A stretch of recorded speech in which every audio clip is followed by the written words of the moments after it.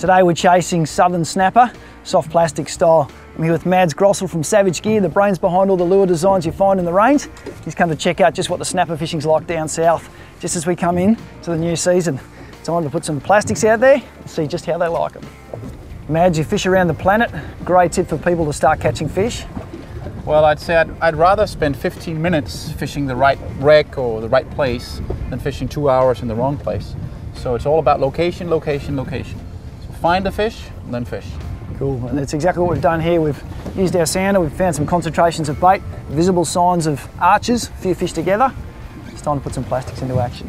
We know our snapper are opportunistic feeders. They love feeding on the prevalent bait supply, food supply at any given time. Mads, now the good news is in your range of lures, you're imitating so many of our great Aussie bait sources. This is the, the Manic shrimp.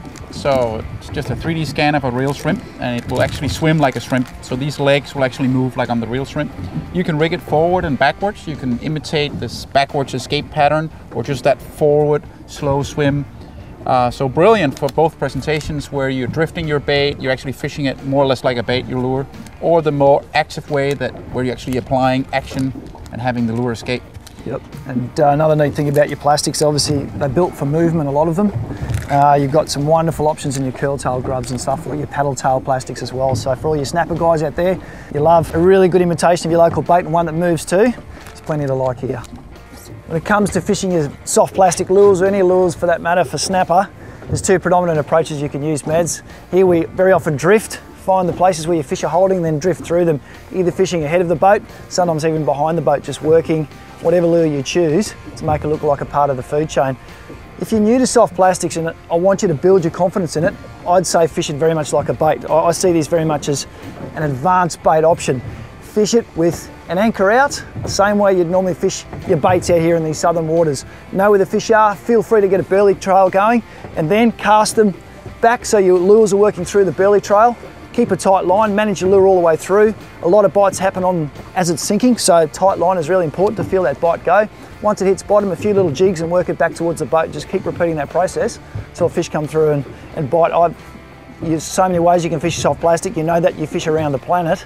But I'd say if you're new to your soft plastics fishing, you want to catch a snapper, start like that, catch your first fish, and then your world's your oyster. Fishing snapper's all about finesse, and to do that, you've got to have the right gear. And with the Savage Gear guy, that's worth talking about rods, reels, lines, and jig heads at the moment. To help us out, we're using lightly weighted, very sensitive outfits. Pick one in that four to eight kilo rod range, thread line in that 2500, 3000 size, loaded up with 14 to 20 pound braids, a good starting. And then leaders anywhere from 10 to 20 pound in a place like this, there's not too much structure for them to do on. And Mads, jig head's really important in the way that you present your soft plastic as well. Yeah, the weight of the jig head will help you with the fall rate. So I personally like a little bit heavier jig heads. I know that you fish them very light style to get that natural, uh, that natural drift. Yep. Um, the gravity will actually pull that tail down and, and make it swim or escape towards the bottom. Um, and that's my preference is to fish them like something escaping. So I like a little bit heavier jig heads, but I saw you being very successful with the lighter jig heads.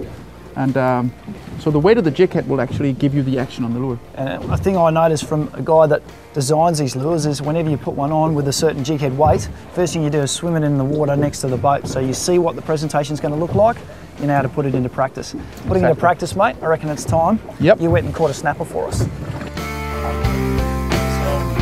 this is one of the new curl tails uh, that we're going to try to develop for this snapper fishing, and which is that was basically the second cast.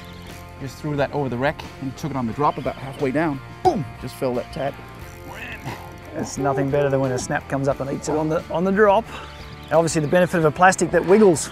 You know, you can fish it both ways. Right there. I'll get a net. Thanks.